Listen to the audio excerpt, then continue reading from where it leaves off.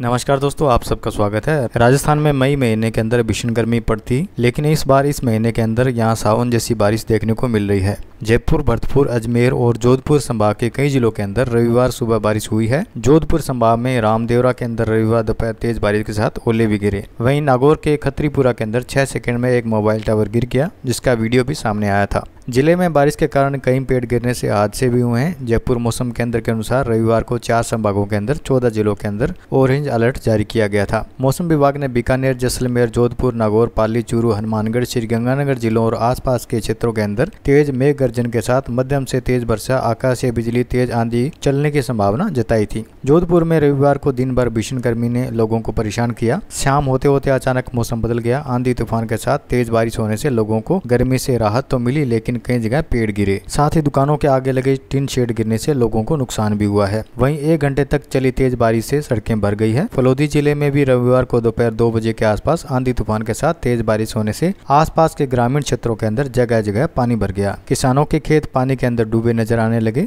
जैसलमेर के पोखरण क्षेत्र में भी आज दोपहर के बाद तेज आंधी के साथ बारिश का दौर शुरू हो गया। सड़कों पर बारिश का पानी बहने लगा। नाले ओवरफ्लो हो गए। इसके चलते नालों का पानी सड़कों पर भर गया। तेज हवा के कारण राहगीरों को अपना सफ़र रोकना पड़ा। लोग अपनी गाड़ियाँ साइड में रोककर इंतज़ार करने के लिए मजबूर हो गए। रामदेरा सहित आसपास के ग्रामीण क्षेत्रों के अंदर आंधी तूफ़ान और तेज बारिश के साथ ओलावृष्टि हुई है। वहीं ओसिया के चिराई गाँव के अंदर दुकानों के आगे लगे टिन शेड आंधी तूफ़ान और तेज हवा के अंदर उड़ गए हैं। गनीमत यह रही की कोई बड़ा हादसा नहीं हुआ। सड़कों और खेतों पर पानी भर गया है। बीकानेर में करीब आंधी तूफ़ान और बारिश देखने को मिली है। शनिवार की रात को इस क्षेत्र के अंदर तेज बारिश के साथ कई पेड़ गिर गए हैं। दुकानों के आगे लगे टिन शेड भी उड़ गए हैं। बता दें कि शनिवार को रात हुई तूफ़ान और बारिश में डूंगरपुर में एक युवक की जान चली गई है। वहीं झुंझुनू में एक किसान की मौत हो गई है। वही राजस्थान के सूरतगढ़ के अंदर रंग महल के अंदर एक मकान के ऊपर बिजली गिरने से काफ़ी नुकसान हुआ है। पिछले 24 घंटे के दौरान पूर्वी राजस्थान के भरतपुर, करौली, कोटा, अलवर, जयपुर, बारा, सवाई माधोपुर ज़िले के अंदर कुछ स्थानों पर और पश्चिमी राजस्थान के अंदर बाड़मेर, जैसलमेर, जोधपुर सहित कई जिलों के अंदर बारिश हुई है। एक पश्चिम विक्षोभ उत्तरी पाकिस्तान पर बना हुआ है। साथ ही एक नया ट्रफ रेखा उत्तरी पश्चिम राजस्थान और उससे सटे पाकिस्तान पर स्थित है। राजस्थान मौसम विभाग के अनुसार अगले दो तीन दिनों के दौरान बीकानेर, जोधपुर, अजमेर, जयपुर, भरतपुर के अंदर 60 से 70 किलोमीटर प्रति घंटा की रफ्तार से हवाओं के साथ बारिश होने की संभावना जताई गई है।